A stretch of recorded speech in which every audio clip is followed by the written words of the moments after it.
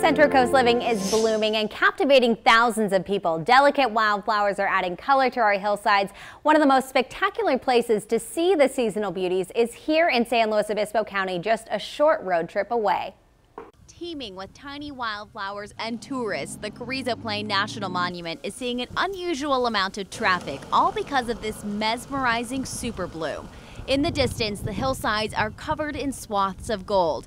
Nearer Soda Lake, patches of amber orange flowers mix with vibrant purple blossoms.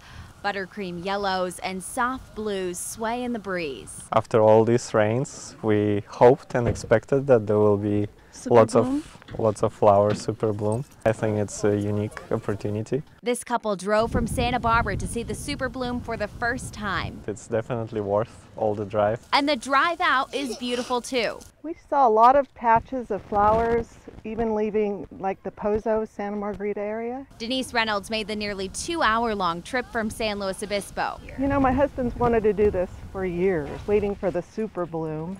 We just took a weekend, we were home and did it.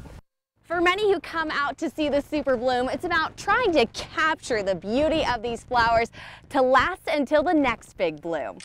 I've taken so many pictures. Photographers of all skill levels can't stop snapping pictures. I take them with my iPhone and they come out beautiful. My husband's up on the hill with his big zoom camera. Still, nothing beats seeing these baby blue eyes with your own eyes.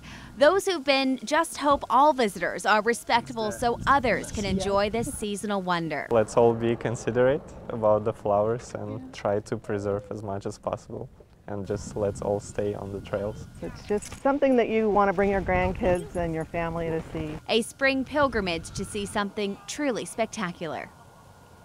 Okay, some tips before you go. It is a long drive out there, so fill up your gas tank, pack plenty of snacks and water, and on that note, no, there are not any nearby bathrooms. Drive carefully on those windy roads and park safely away from the road, ideally not on top of any flowers.